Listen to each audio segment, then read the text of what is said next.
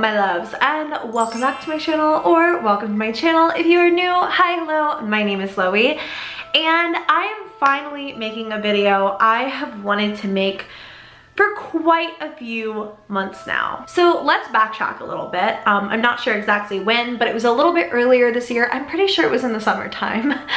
and my manager Jake called me and I was like getting ready to probably film some videos about some haunted dolls.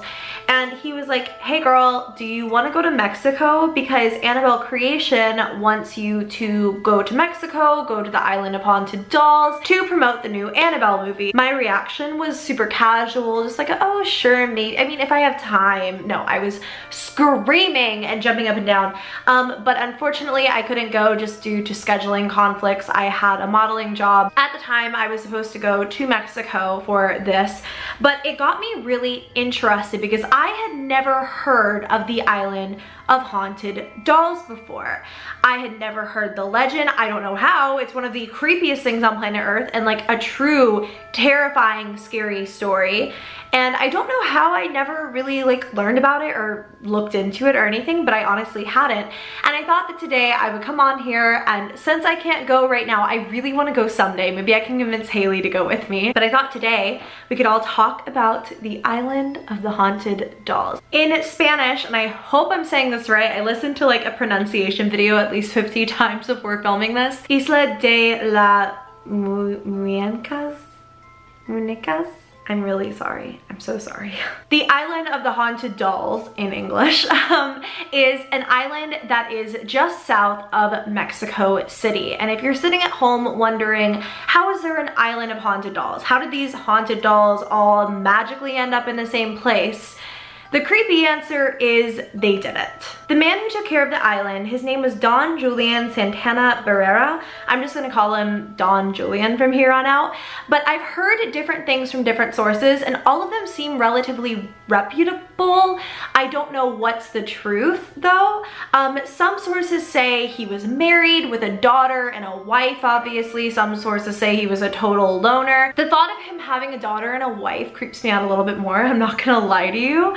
Um, but regardless of the reason, he wound up going to this island and he was the owner of it. The story goes and how this entire thing started is that Don Julian was on the island eh, doing things that people who own islands do, I guess and he found the body of a little girl face down in the water floating up to the shore.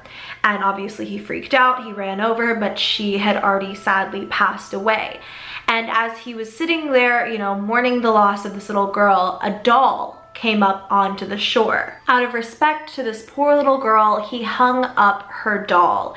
And shortly after this, Don Julian began claiming that he was haunted. And whether it was by the spirit of this little girl or a million other things, no one really knows, but he claimed that he was haunted. And the only way to appease these spirits was by hanging up more dolls. Doll parts, full dolls, everything. And when you see these pictures, it is the stuff made out of nightmares.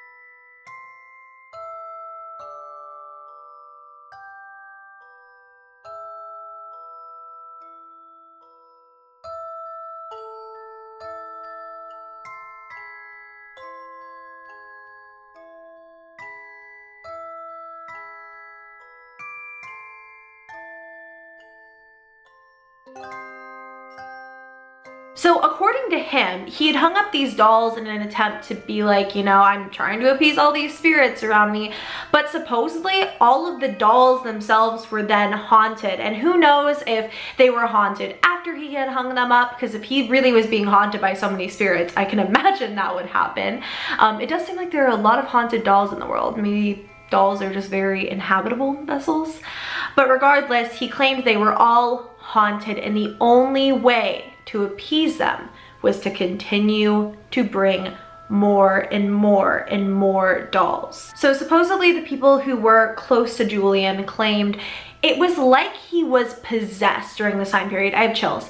It was literally like something took over him and this is why the story really creeps me out.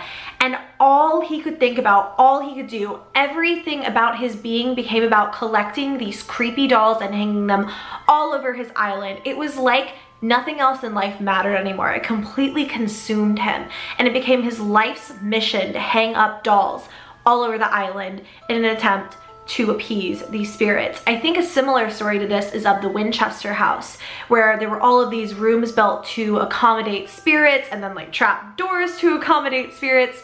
You know, it was like something had taken him over and all he could think about was like appeasing the spirits of these little girls. Don Julian spent 50 years collecting dolls and hanging them on his island.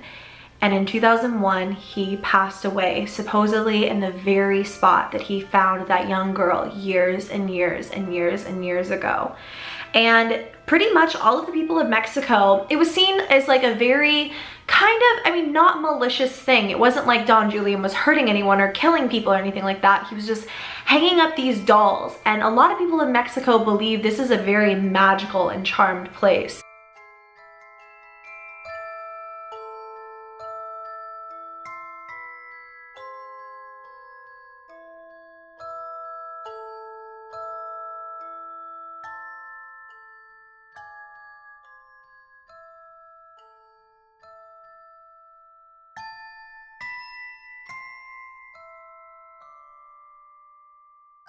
But for a lot of people, it's like a nightmare tourist attraction. I mean, people go there because it is creepy to look at. It's hard to know in this story what's true and what's fact because at the end of the day, no matter Don Julian's family situation, he was a loner. He did spend all of his time on the island hanging up the dolls for these little girls. But one thing I found very interesting, and it could be true, it could not be true, is that he was hanging them up because all he could hear were the screams of little girls and he was just trying to make them stop.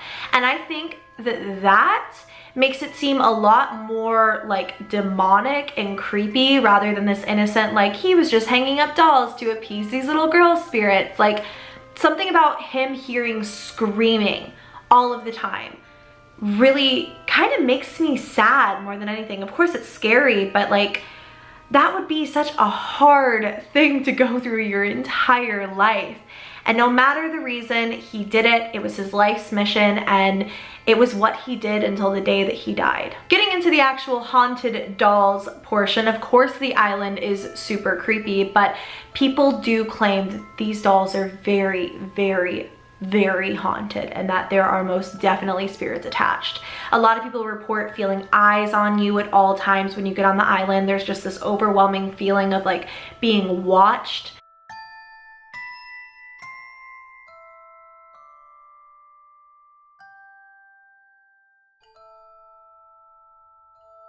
Even more people claim to hear whispers through the trees and as they walk through the island they claim to hear whispers of something and somebody all of the time. A lot of people think there might be over a thousand dolls on this island.